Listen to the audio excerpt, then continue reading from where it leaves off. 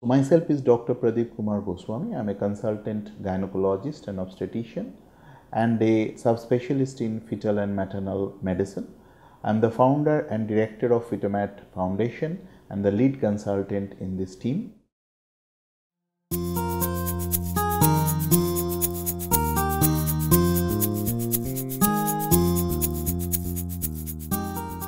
So, as the word non-invasive suggests, so no needle is necessary to go inside the mother's womb in this test, you know.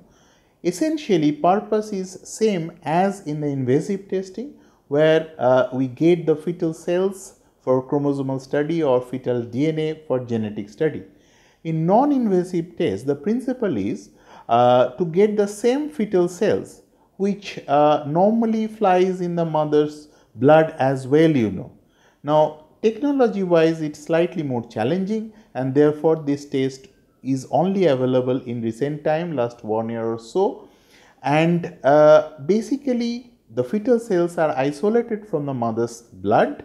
Like it's a normal blood test like taking a little bit of blood from the mother's arm and getting the fetal cells out of it and therefore you know uh, getting uh, the informations for chromosomal or DNA problems particularly the DNA problems um, from the uh, from the uh, from the from the fetal cells you know. Now advantage is that for the invasive test roughly there is 1 percent uh, risk of uh, fetal loss or miscarriage may be associated with the procedure. Usually it does not happen, but that's a possibility. In the non-invasive prenatal test, uh, that possibility is not there because it's a simple blood test, you know.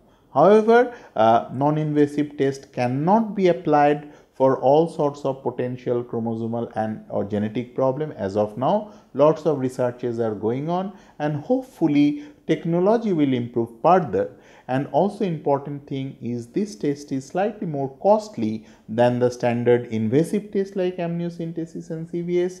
So therefore, this test will have and should have a special place as of now, but it has potential to grow further.